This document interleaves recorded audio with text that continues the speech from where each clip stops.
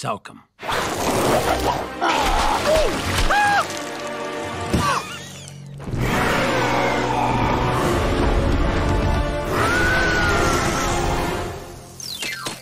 Nurse!